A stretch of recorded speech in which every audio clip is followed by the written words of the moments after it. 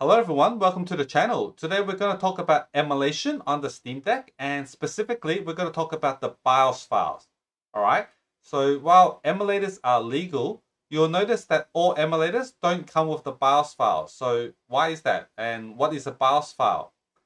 Think of them as like the operating system for the consoles you are emulating and that is copyrighted code, alright? So copyrighted material and that's why emulators can't bundle that copyrighted code into their work.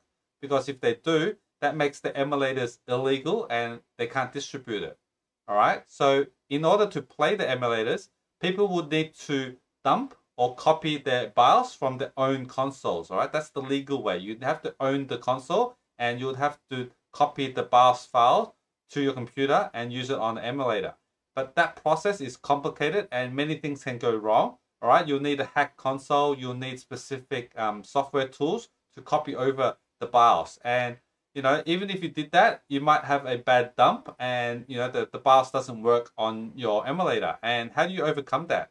So here's my tip. All right, go to the internet, okay, the web browser, and go to the Internet Archive. So archive.org, and some people would actually upload their working BIOS file onto this website for preservation, all right? So make sure that you don't download the BIOS file and use it for yourself because that will be illegal. You need to use your own BIOS from your own console, all right? So this is only just to um, cross-reference to check, you know, if your BIOS file is a working one, all right? So let's say I want to play Crazy Taxi on my Steam Deck. I need the Dreamcast BIOS, okay? And I dumped it from my um, Dreamcast.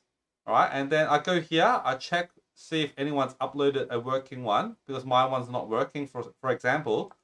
So I go here, Dreamcast BIOS, all right. Don't download it because that's illegal to use, all right. I'm going to use my own one, but I can click here, show all, all right. And why would I do that? Because I want to know the format of the, the structure of the BIOS, all right. So here I can see, oh, okay, there's a file called dc underscore boot dot bin, and it's a two megabyte file. And there's a dc underscore flash dot bin, that's a 128 kilobyte file, right? So that's basically the format of the the BIOS dump, all right? So I'll have to match that with the dump that I did, all right?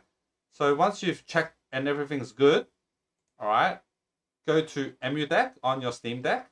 All right, EmuDeck is a program that manages your emulators and ROMs. So it's very useful. If you don't know how to install it, I have a video. I'll leave a link in the description. And I'll also leave a card.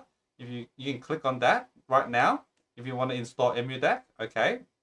So I assume you already have it. And there's a function inside EmuDeck called BIOS checker. Okay.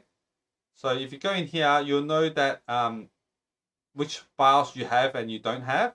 So currently I only have the Nintendo Switch one. Okay.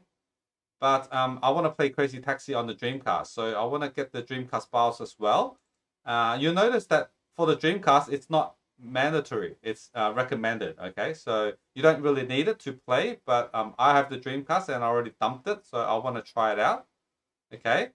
So here, how do I put it here? Okay, you need to go to your uh, Dolphin, your file explorer. So I have my dumped um, BIOS here in this folder called DC. Okay, so you can see inside DC dot uh, DC underscore boot dot bin, the two megabyte file, and the DC underscore flash dot bin, 128 kilobyte file. It's here. These are the um the VMU, so the the memory cards. All right. So I just copied this folder, and I because my EmuDeck is installed onto my SD card, I'm gonna go to my SD card, and it's in the emulation folder and then there's a folder called BIOS, all right? So I just paste the folder here, so the DC folder's here, and then I go back to my EmuDeck and the BIOS files checker, check again, and you can see it's green. So it detected that my Dreamcast BIOS is there, all right? So that's how you do it, all right? So make sure you don't go to this website to download. This website is only for you to cross-check make sure that your files, the structure is correct and the file size is correct, all right?